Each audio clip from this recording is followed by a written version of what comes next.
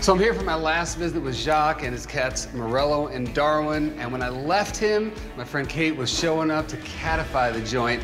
Hopefully, I'm walking in to see her ultimate masterpiece. I'm totally psyched.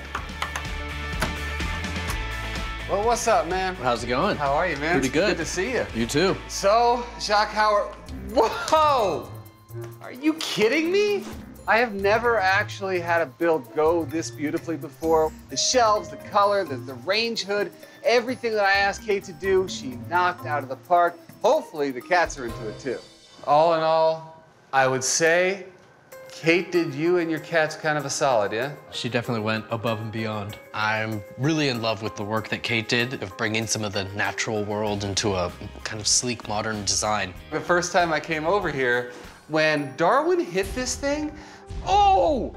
I just about crawled out of my skin. And those days are over. They're just so incredibly happy. They're just here all the time.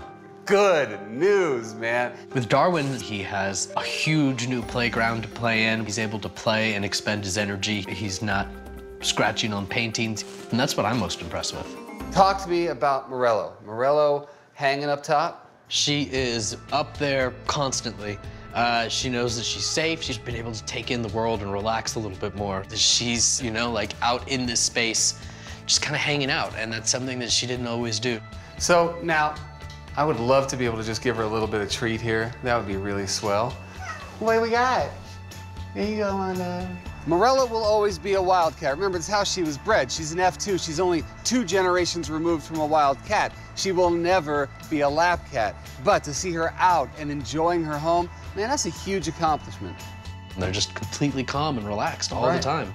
Now that Jackson's come in and been able to give these cats an environment where they can be calm, they don't have these issues. So it's been it's been great.